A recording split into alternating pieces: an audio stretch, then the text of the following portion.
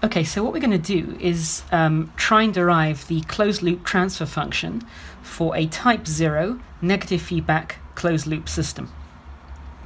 So what we have uh, is an input voltage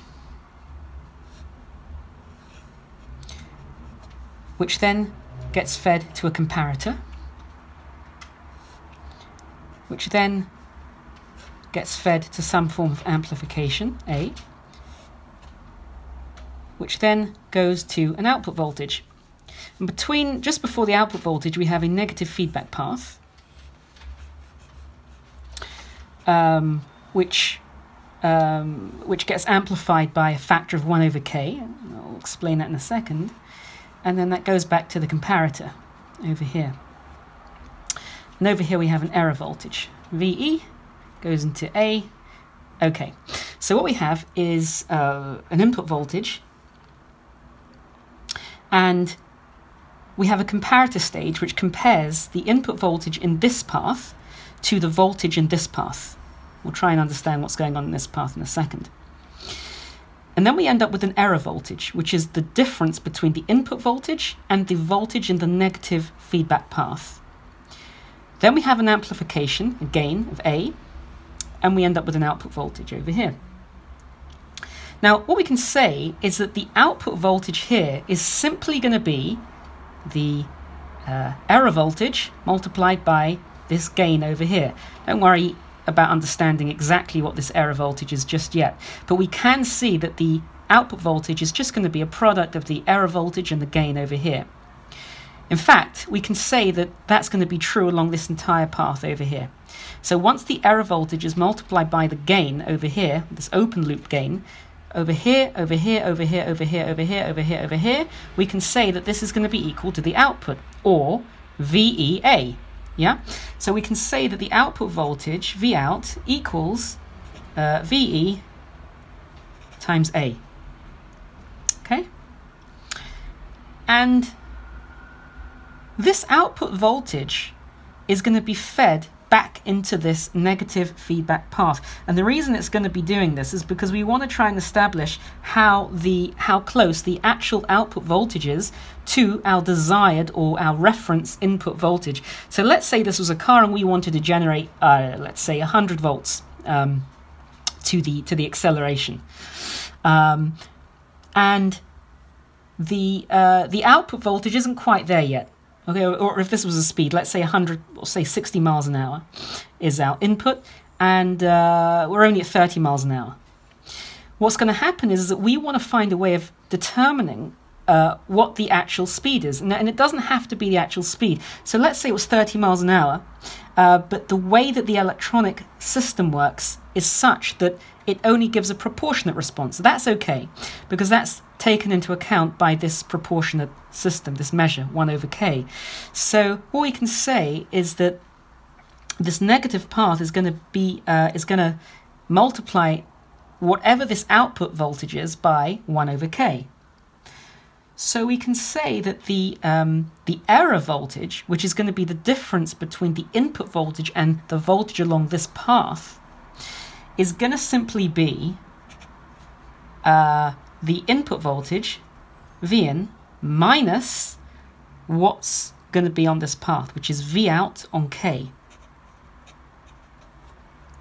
Like that. So we've got the output voltage coming along this path divided by K. So over here, for instance, we're going to we're going to have V out on K. Here we're going to have V out on K, etc., etc. So the comparator is going to compare the input voltage, V in, to V out on K. So we end up with an error voltage, which is going to be V in minus V out on K. All right? And then that is going to be amplified by the gain over here to produce the actual output voltage. So we can now make a substitution and say that the output voltage is the error voltage, which is just the input voltage, minus the output voltage on K multiplied by A. And if we want to work out the transfer function, which is just the output voltage to the input voltage, the ratio, we can just expand this and rearrange. For V out equals V in A minus V out A on K. So we can say that V out plus V out A on K equals V in A. We can say 1 plus A on K equals uh, V in A. Therefore, V out on vn, i.e. the uh, transfer function, is going to be equal simply to A on 1 plus A on K. Now, if we multiply the top and bottom by K, and you'll see why we do this in a second, we can say that uh, V out on V in is going to be uh, AK on uh, K plus A. And we can see from here that if A is much larger than K, we can say that uh, V out on V in is approximately going to be equal to AK on A. So the A's cancel, and that's approximately going to be equal to K when A is much larger than K. And A represents the open loop gain, K represents the closed loop gain. Um, to show the open loop gain fixed at 1000 uh, and K varying from 1 to 10. And we just flip the vector around so it's actually going from 10 to 1. Uh, and the, uh, the, the transfer function over here uh, as K uh, changes. Um, so what you can see over here is that, um, and sorry, I've, I've, also actually plotted um, a, a, straight line um, which shows um, what, what it should be. Um, so for instance, for, for, for K increasing linearly with the transfer function. So what you can see is that they're pretty much the same um, when k goes from uh, 1 to uh, 10, um, it, it, pretty much corresponds to the actual transfer function, meaning that the transfer function, the, um, the gain, the actual absolute gain, is equal to k, uh, for k being between 1 and 10. But if we, um, say, change uh, k from 1 to 100, what we can start to see is that as k increases, um, and gets actually a lot closer to the um, value of the open loop gain, we're starting to get an error here. The blue line represents the transfer function, the red line represents um, a zero steady state error, um, which is k equals h. That's what the red line represents, k equals h. The blue line represents the transfer function. Now, if we increase it to say uh, when k goes from 1 to 500, we can start to see a much larger error. And the steady state error is the difference between the horizontal displacement of these two lines. So again, when k is much, much smaller than 1,000, much smaller than the A, the open loop gain, the, the error is very, very small. As k approaches the open loop gain, uh, I mean, here it's only 500, you can see that error becoming much, much more significant. Um, and, uh, and, and that's the, the steady state error of a type 0 negative feedback control loop, um, which results from only having a proportionate gain control of 1 over k. When we start to look at an integrator, so a PI system, we should see this error actually become 0, um, as we'll see shortly. So what I'm going to do now is look at um, an elementary uh, understanding of Laplace transforms, which are necessary for the integral gain controller. Um, again, we don't need to understand too much here, but um, basically, if we have something like uh, df by dt um, as a differential uh, equation, we can say that this uh, corresponds in Laplace to s, capital F, of s minus small f evaluated at 0. So if we have something like um, dx by dt uh, plus 2x equals 0, in Laplace this is going to transform to s, small s, Laplace operator, capital X of s minus small x evaluated at 0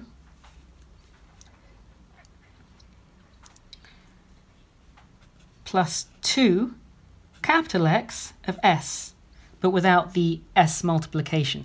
So whenever you have a differential operator dx by dt, in Laplace it's going to be the small s operator multiplied by capital X of s. Um, and for something uh, as, as an integral, um, say x of t, um, that's going to correspond to 1 over s x of s um, just like that. Um, so again, we don't need to understand this too much um, to, to, really. To, to really move forward. Now, um, where this comes into play is that if we have, say, a low pass filter, um, let's just do that for clarification.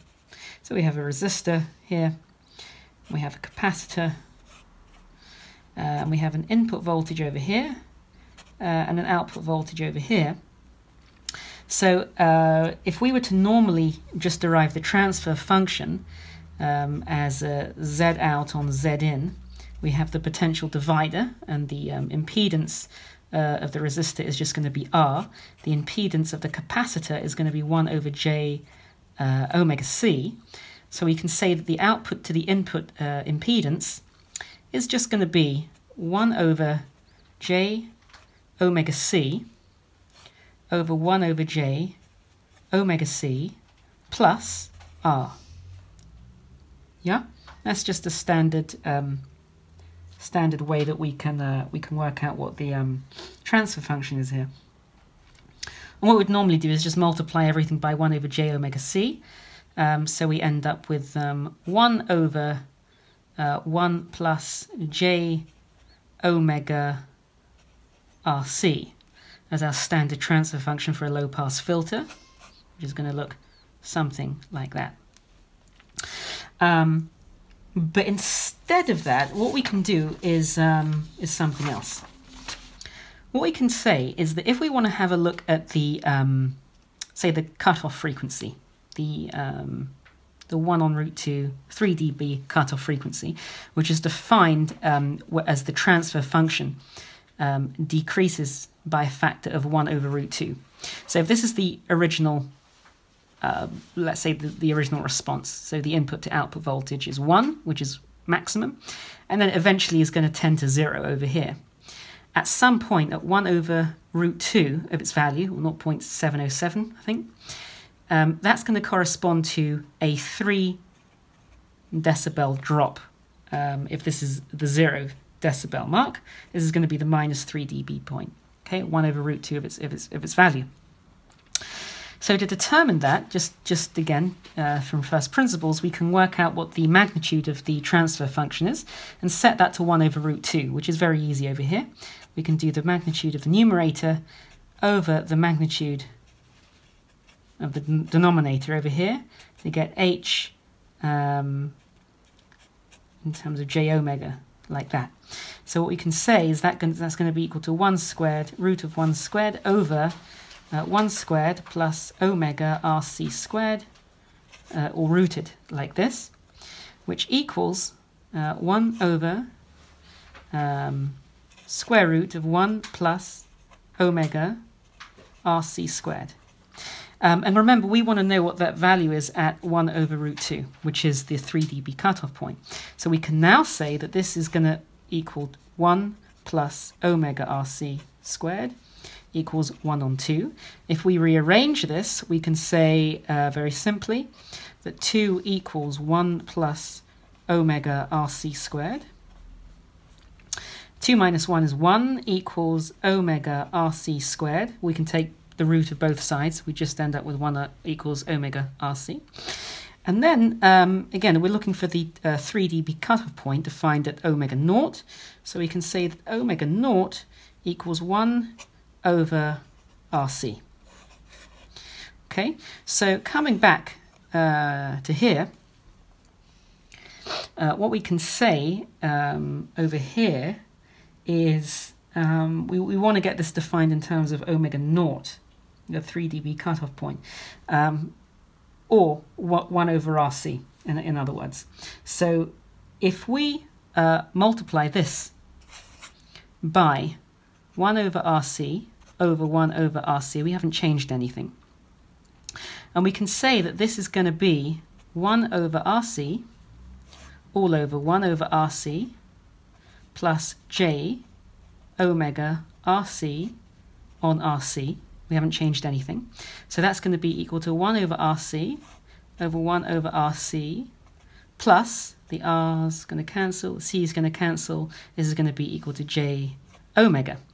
Okay? And we know that 1 over RC is omega naught. So we can say that this is equal to omega naught over omega naught plus J omega. Okay? And that's going to be the um, that's going to be the transfer function in terms of j omega. Since we know that uh, in Laplace operation the s can usually be replaced with uh, with j omega, we can say that h, the transfer function in Laplace form, is going to be equal to omega naught on omega naught plus s, because s can be replaced with j omega. And that is the closed loop transfer function of a low pass filter in Laplace notation.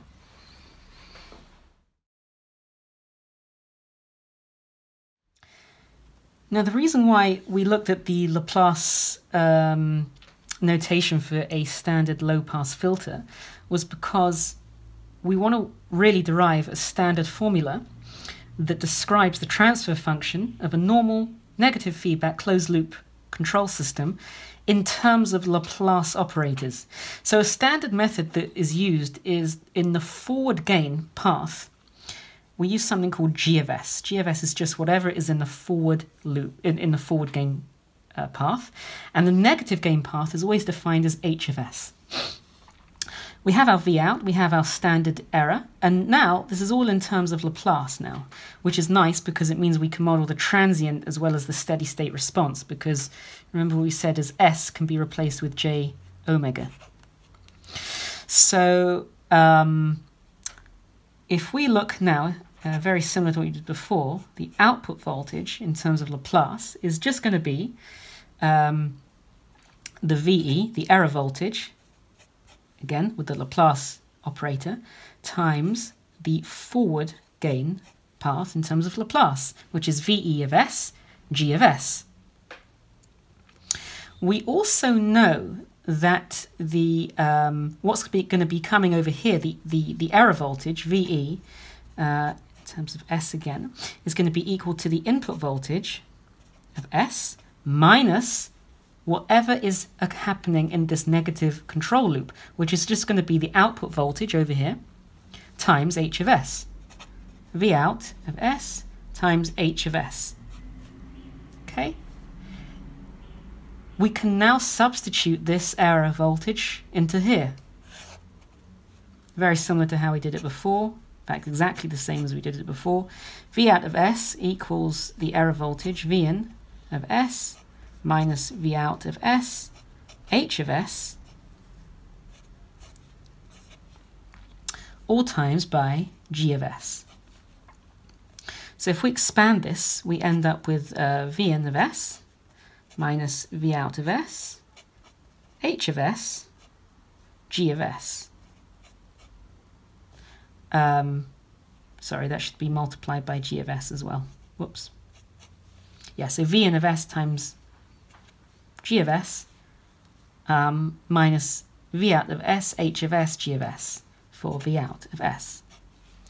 So now let's take the, um, try and derive the transfer function again. So we do the v out of s plus v out of s, just taking this to the other side. h of s, g of s equals v in of s, g of s. Let's take out the v out of s. We have 1 plus h of s, g of s equals v in of s, g of s. And now we can say that v out of s on v in of s is going to be equal to g of s on 1 plus h of s g of s. And that is um, very important. That's the closed loop transfer function for a negative feedback control in terms of Laplace operators.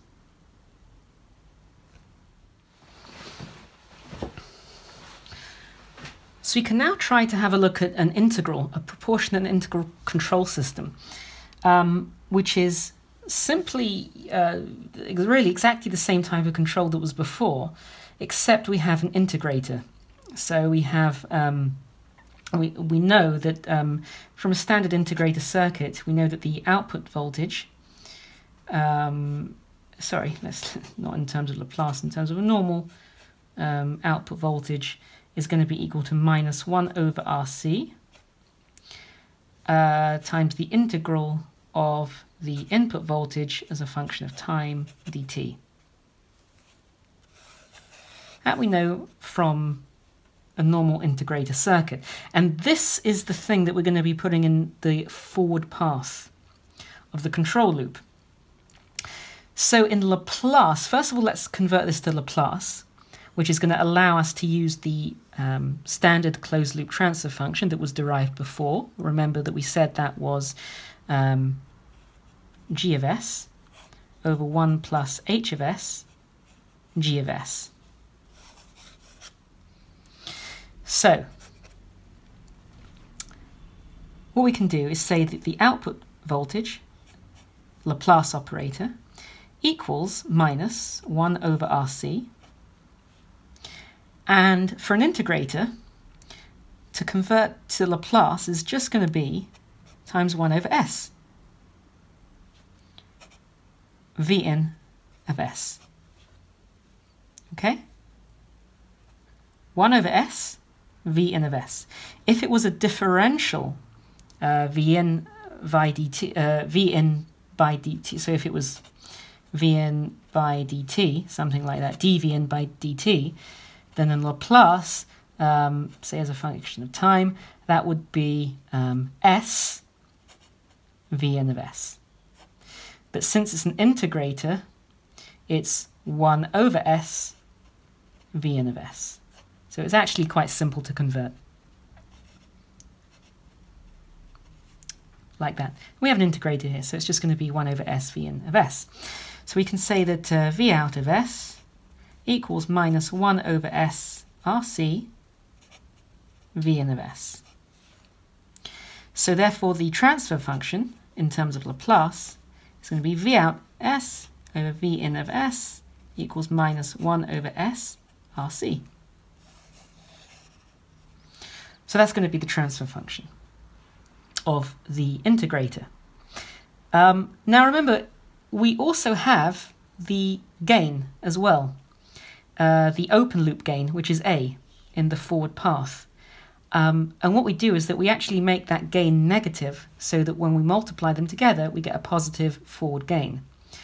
So in the forward direction, which is g of s, we can say that g of s is going to be equal to uh, minus a times minus 1 over s rc. Therefore, g of s equals a over s RC. So we now we have G of S.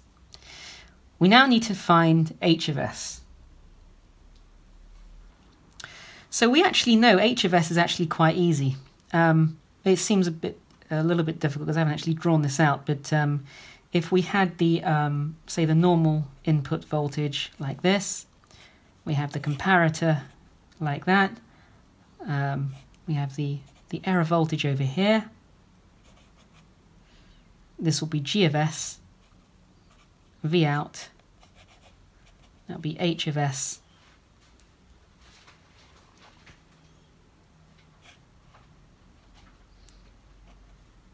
be going like this. So we've got G of S in the forward path, which will be the normal gain, which will be made up of like a normal gain, uh, just open loop gains we had before. And then we have just the integrator circuit, um, whatever that looks like. Can't even remember now, some, whatever it is. Um, but the point is, is that the gain of that is going to be 1 over SRC. and multiply that by the um, by the forward loop by the open loop gain of a or minus a over here, then we end up with g of s, the forward path, which is basically everything in this forward path over here, um, represented by g of s, and that's going to be o, a over src. Over here, h of s is simply just going to be 1 over k, which is the proportionate uh, gain control.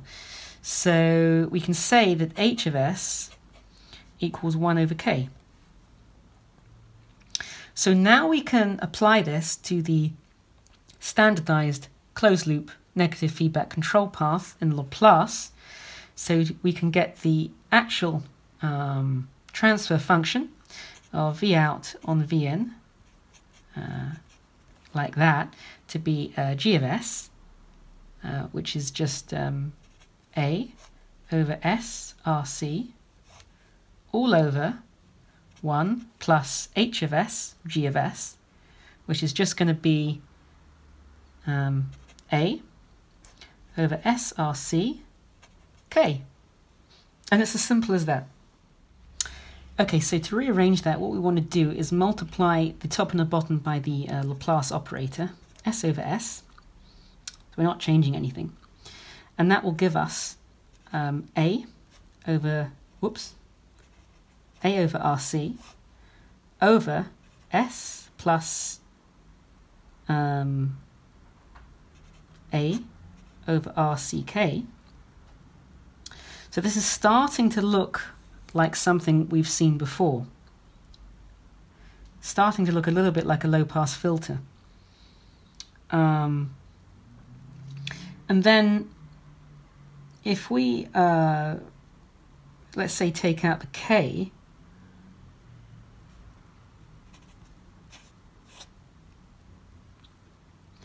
we can say that A over RCK over S plus A over RCK is now looking very much like a low-pass filter, where um, if we define omega naught, the cutoff frequency, to be A over RCK, we can say that the transfer function, H of S, is going to be equal to, uh, and h of s is not the same as h of s over here, it's a bit confusing. It's not the negative feedback path. h of s I'm defining as the actual transfer function of the entire loop, is going to be um, omega naught over s plus omega naught times k. And we know that uh, in Laplace, s can equal j omega. So we can say that h of uh, j omega is going to be equal to k omega naught on uh, j omega plus omega naught.